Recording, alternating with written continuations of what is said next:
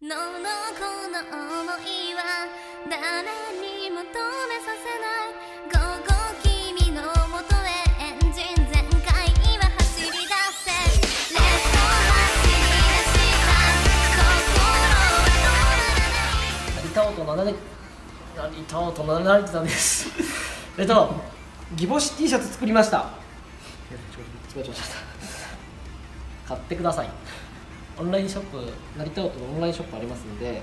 あのそこで販売させてもらっております。僕今ねオスギボシオスを着てるんですけれどメスもあります。よろしくお願いします。であの今日はあのメガネのメガネレンチのまあいろんな形状があるよっていう話をさせてもらいたいと思います。で今回ですね小山自動車さんの方から、まあ、こういう工具があるからぜひね動画のネタにしてくださいというふうにおっしゃっていただきましてあの撮らせていただいているっていう感じですね。でこのもう年季の入ったこちらのメガネこっちがあの小山自動車さんから送られてきてきたあの小山さんが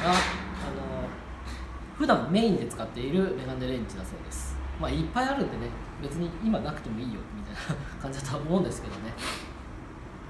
これのあの工具のまずめちゃ古いんで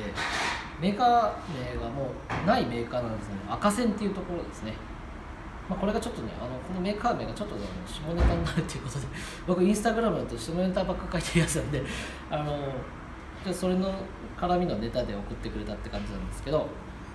とにかくこれあのメガネのここがね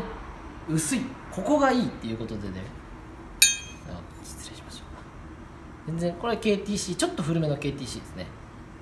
厚み全然違うの？分かりますか？わかります。わかります？ここなんかねちょっと物が邪魔してこのここが若干こうここが当たって入りにくいっていう時ね多分誰もが経験したことがあると思うんですけどこんだけ薄いとアドバンテージ高いですよね。これはあの薄さは命だと思います。で僕もね言われてみたら普段使ってるのが僕ねあんまり銘柄のこだわらないタイプなんであんまり統一感統一されてないんですけどね僕もよくわかんないメーカー使ってます。あのこれやっぱ薄めのやつ使ってるんですよね。なんでやっぱ薄い方がね結構いろんなところにスッて入る感じがするんであの好きです。であとここの太さもあるのも好きあのいいという話をおっしゃってました。太くて丸みがあるから力を入れる時に握りやすい押しやすい。こういう意味であのこれ結構好きだなというふうにおっしゃってました。でよくよく言われてみるとまあいろんなのあるんですけどね KTC だと角張ってたり KTC が角角張ってるんですけどね。利根さんも角張ってますしスナップオンも角張ってます。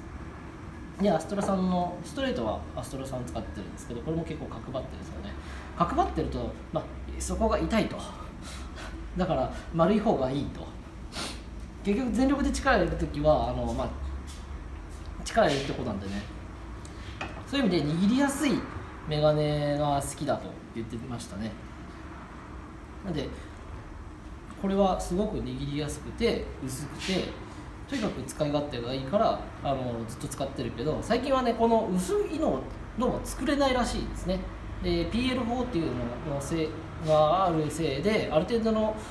工具に強度を持たせなければならないということであの多分ここの肉厚がある程度確保されてるんじゃないですかね、まあ、詳しくは分からないですけどね。なんで